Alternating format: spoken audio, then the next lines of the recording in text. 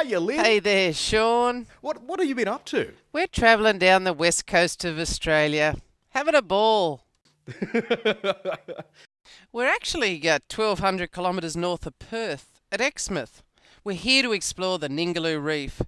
So we've checked out all the parks and have chosen to stay at the uh, Exmouth Cape Holiday Park. It's one of Aspen Parks. It's very good.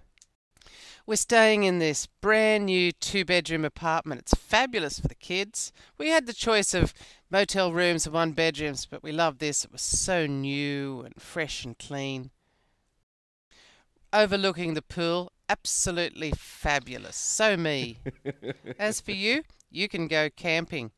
I love to camp.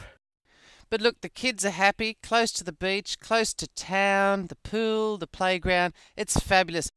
But what is truly amazing is the Ningaloo Marine Park. There's whale sharks, they grow up to 12 metres long.